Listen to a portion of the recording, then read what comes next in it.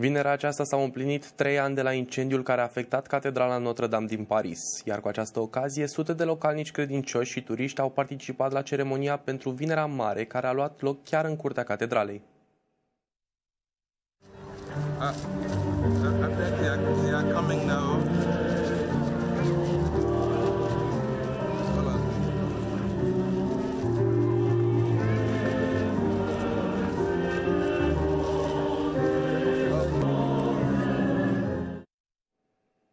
În cadrul ceremoniei, atât rectorul catedralei cât și episcopul au amintit de războiul din Ucraina și s-au rugat pentru pace.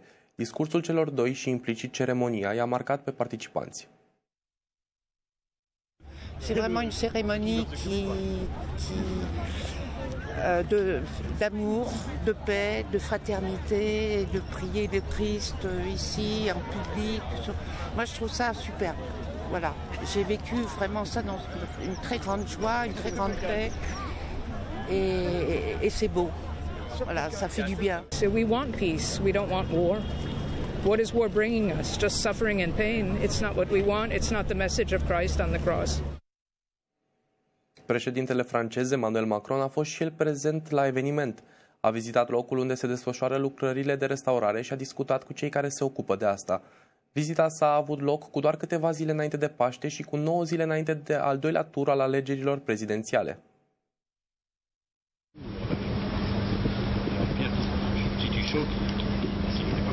Et quitte euh, carrière pour Notre-Dame. Grande émotion. L'incendie de, de Notre-Dame, il y a trois ans, a été un, un moment pour, pour euh, tous les Parisiens et les Parisiennes, pour euh, les Françaises et les Français, tous les, tous les catholiques du monde entier, euh, une immense émotion. Je crois qu'en en, en étant là, on le revit tous. Alors certains y sont quotidiennement, mais à chaque fois que, j'y viens, je le revis. Et donc de voir durant ces trois années l'avancée des travaux, et il se trouve en plus que c'est vrai, cette date anniversaire des trois ans correspond au vendredi saint, donc c'est un moment un peu, un peu particulier.